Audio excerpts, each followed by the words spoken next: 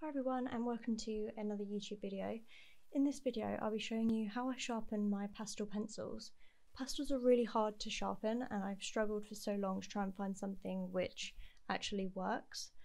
Um, it's not necessarily a perfect solution, there are other faults but yeah, this works for me.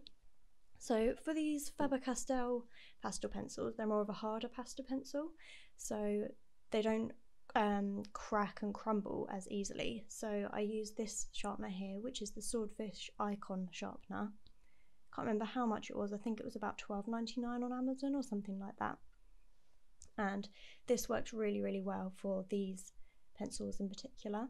I also do use the Stabilo Carbothello pastel pencils for this sharpener as well, and sometimes the Derwent ones, although the Derwent ones are a little bit soft as well. I find they crumble quite easily.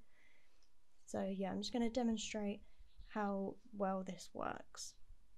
So you just pull it out, you have to make sure this bit is pulled out and then to insert the pencil there's a little button on the side you just hold down and you can insert the pencil in. And then just sharpen away, twist the handle until you can feel that it's not actually sharpening anymore. You can feel like the pressure kind of disappears. I don't really know how to explain it, but you know what I mean. And then, yeah, here we go. Very sharp pointy, perfect for all little details. So I would say these are probably the pastel pencils that I use the most. But then I use the Caran ones for a base. So I'll show you how I sharpen those in a second. The Swordfish um, ikon sharpener you can buy spare blades for, which is really handy so you don't have to buy a brand new sharpener every single time. I think the blades are about £5 or something on Amazon, I'm not entirely sure but they come in this little box and then I'll just show you how you change them as well.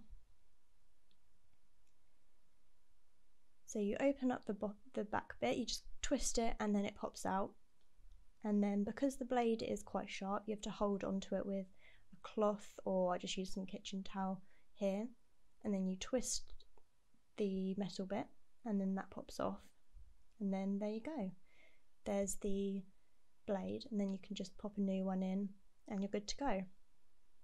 I'm not sure how often I change the blades, maybe every like two or three months, maybe every two months. It depends how much drawing I'm doing, to be honest.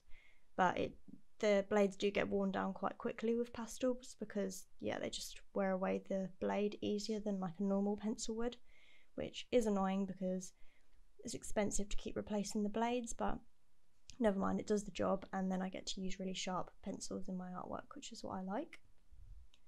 So here it is all put together again. So it's really easy to change the blade, really simple.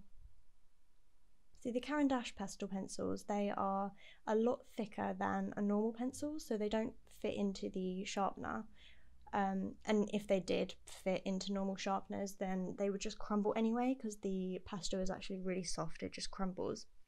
So to sharpen these, I use a craft knife. I think this I got this one from Hobbycraft or something, just really cheap.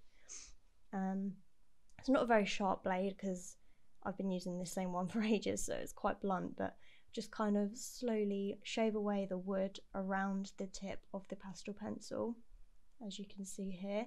It does not create a perfect point by any means, but these pen pastel pencils, the Caran d'Ache ones, I usually use as a base anyway, so I don't need them to be sharp.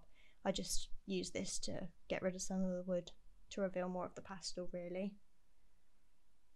I'm sure there are ways you can get these ones really sharp, but I don't really need to do that, so I just do this and then use the Faber-Castell ones for all the details and stuff.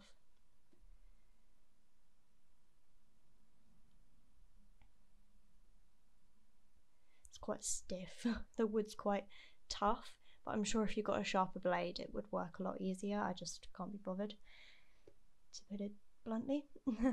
and then, yeah, so that's what that would look like. So it just reveals some of the pastel at the end. It's not super sharp or anything. So yeah, I hope you found the video useful and I highly recommend this swordfish ikon sharpener. Thanks for watching. Bye.